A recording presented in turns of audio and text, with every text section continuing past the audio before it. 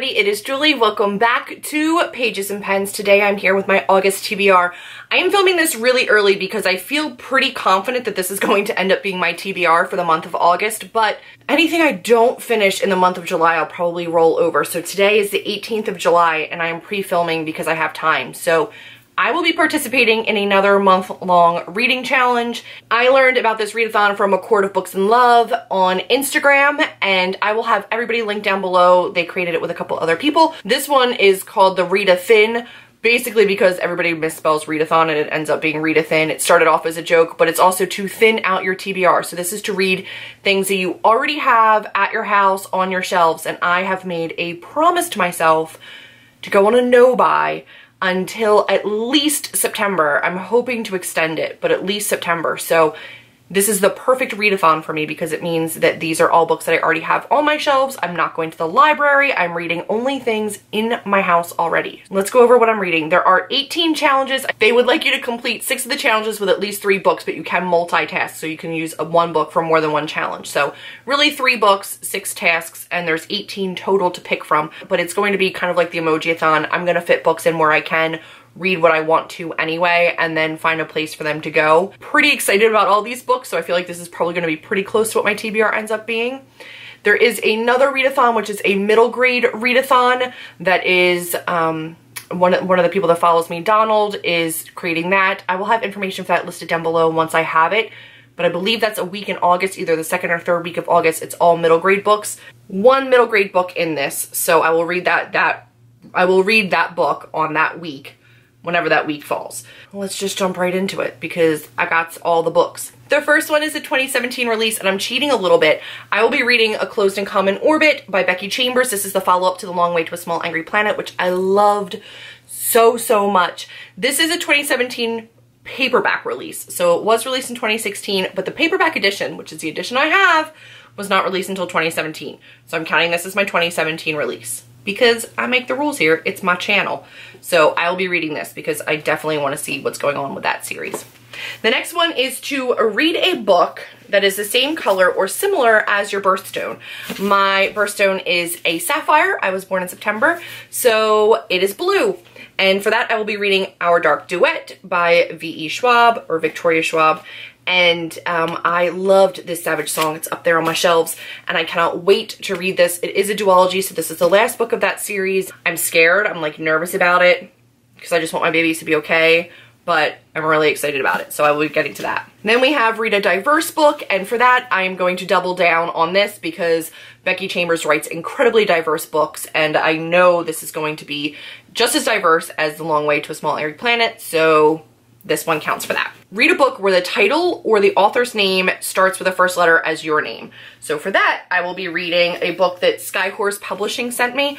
A lot of these are gonna also end up in a haul at some point, guys. Like almost all of these are recently hauled, but I haven't done the haul yet. So You'll see them at some point. But Skyhorse Publishing sent me The Next Together by Lauren James. James, Julie, you know.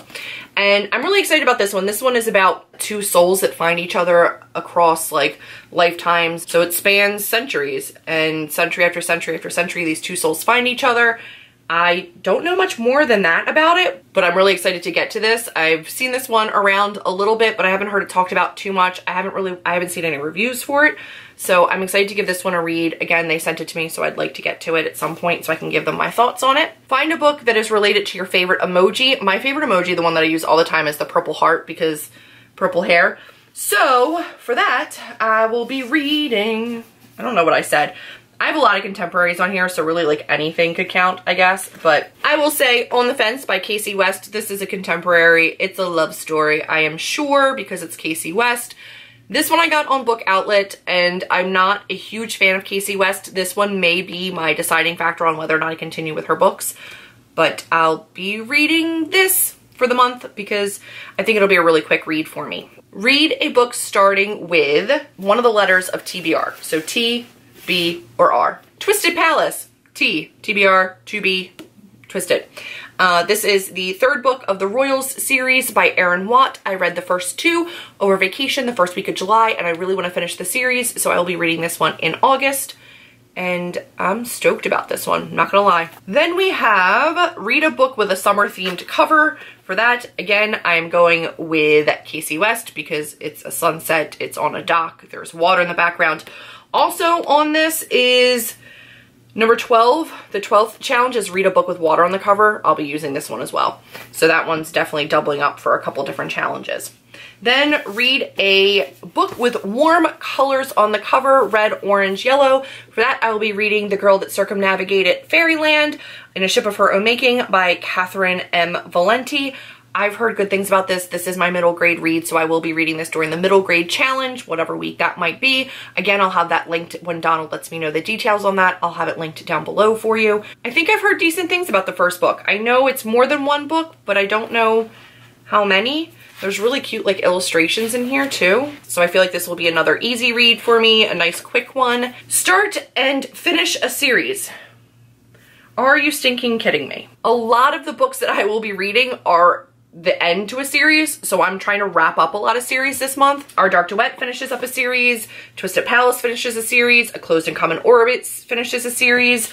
Um, I have other books on my TBR that you can't see that finish series, so I won't be starting one and finishing one, but I will be finishing a whole bunch. Read a book in 24 hours. For that, I will be reading Sweep, A Book of Shadows by Cate Tiernan. I believe this is a series, but this is like a super tiny book and the font is rather large, so I feel like I can read this pretty quickly. So I will be reading that for my 24 hour book. Then read a new to you author. A new to you author is A.R. Torre and it's The Girl in 6E. I don't know why, but I am feeling thrillers and I want to read this really, really badly. I'm actually pushing for this to be the buddy read group for Job and the Librarians. I don't know upon filming this if it is or not, but regardless, I'm reading this in August. So this will either be the buddy read for Job and the Librarians or I'm just reading it regardless. Small caveat, if this isn't for Job and the Librarians, I will be adding another book to this TBR that will be for the Job and the Librarians book club. Um, I will also have whatever book my Patreon subscribers vote for.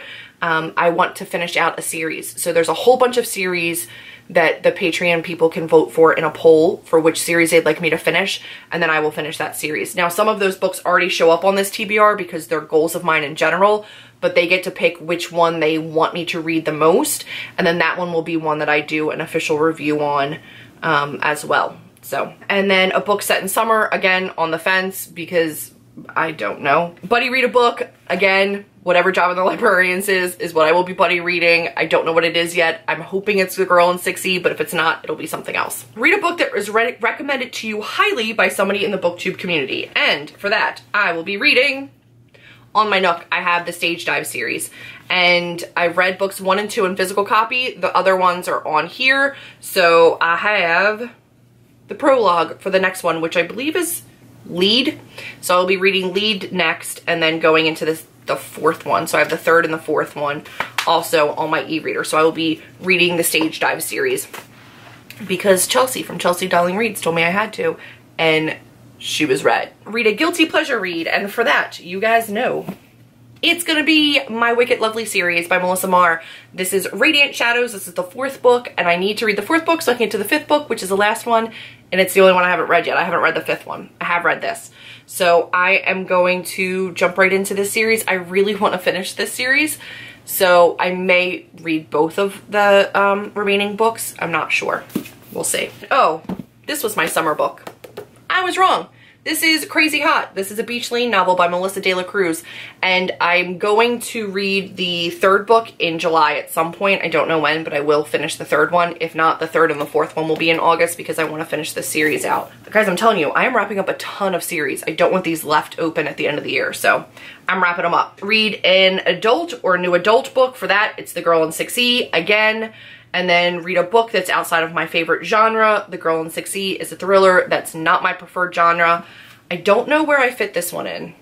Maybe this one was for finishing a series.